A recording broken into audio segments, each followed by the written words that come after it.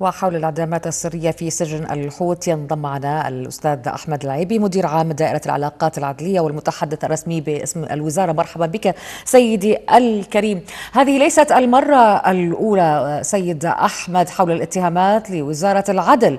يعني نستذكر في عيد الأضحى أول أيامه بحول إعدام 36 سجين أيضا في صلاح الدين والأنبار وديالى وغيرها. لماذا هذه المواقع يعني تتحدث عن ذلك؟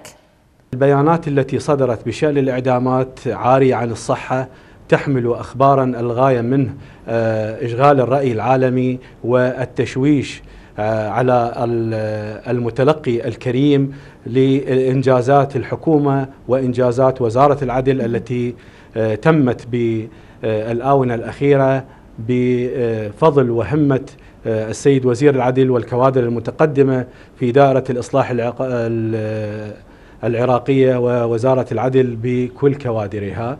آه، آه، هذه الإجراءات التي قمنا بها كما تفضلتم في تقريركم افتتاح أقسام إصلاحية تراعي كافة حقوق الإنسان من ناحية من الناحية الصحية من الناحية الخدمية.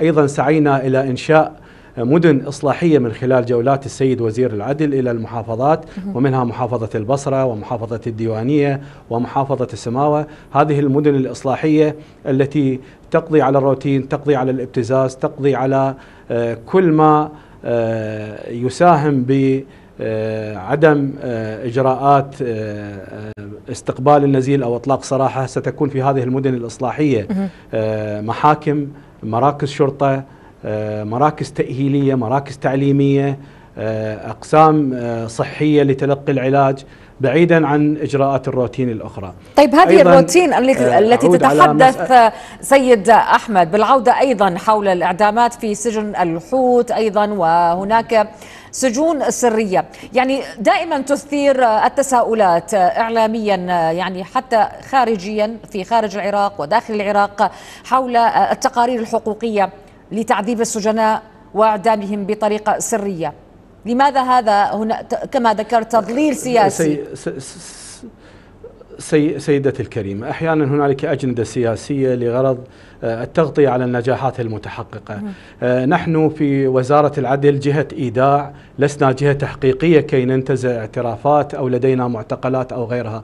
نحن جهة إيداع يصل إلينا النزيل بعد أن آه، يحكم عليه من مجلس القضاء الأعلى ومسألة وزارة العدل لديها أقسام إصلاحية مهمتها توفير المسكن وتوفير الطعام وتوفير الأشياء الصحية والأشياء الخدمية الأخرى، أما مسألة التعذيب أو السجون السرية أو غيرها هذا شيء بعيد عن آه، يعني عن الكلام وبعيد عن آه، الحقيقة ومجانب للحقيقة. ومثل ما قلت لحضرتك يحمل أجندة، نعم. أنا من خلالك ومن خلال منبر التغيير آه، أدعو قناتكم الكريمة إلى زيارة أقسامنا الإصلاحية، إلى الاطلاع على المنجزات التي تقوم بها وزارة العدل، تنظرون بأم عينكم إلى عملية المراكز الصحية الموجودة، تقديم العناية الصحية الموجودة، القاعات الامتحانية للطلبة الذين يرغبون بإكمال تعليمهم توجد لدينا آه، في كل قسم إصلاحي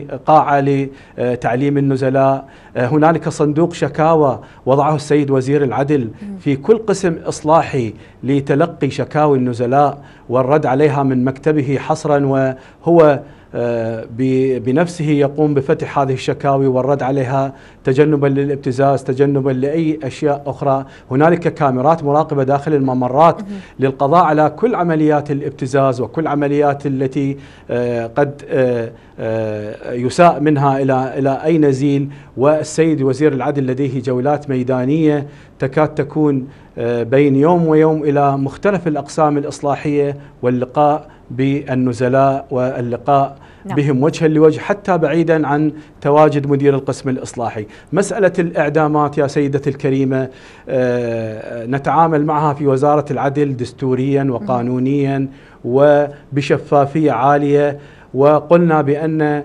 هنالك حكم قضائي يصدر غير قابل للتمييز من مجلس القضاء الأعلى. يعززه مرسوم جمهوري لتنفيذ حكم الإعدام ويبلغ ذوي الشخص ال- آه، المحكوم بالإعدام. وهنالك آه، مرشد ديني وهنالك باحث اجتماعي وهنالك وصية وهناك إعلام لذوي طيب.